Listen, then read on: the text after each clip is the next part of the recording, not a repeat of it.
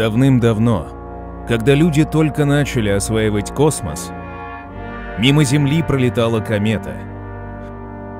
К ней был направлен автоматический исследовательский зонд. Совершив посадку на глыбе, он сделал находку, которая резко изменила развитие человечества. Была обнаружена энергетическая сущность, названная руной.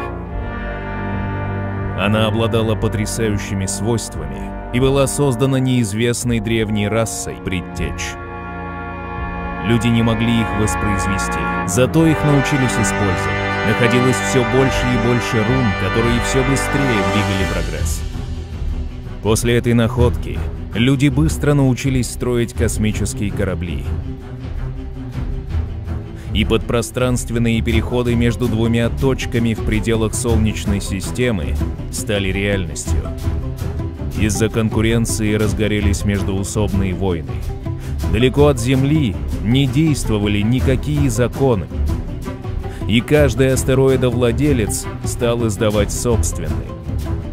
Базы на астероидах из исследовательских быстро стали превращаться в военные.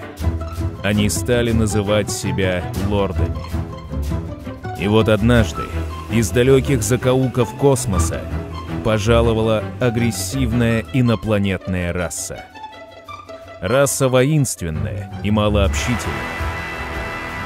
После нескольких кровопролитных баталий стало ясно, что астролордам и пришельцам не по пути.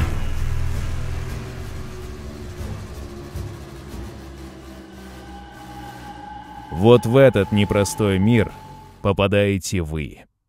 Новый Астролорд.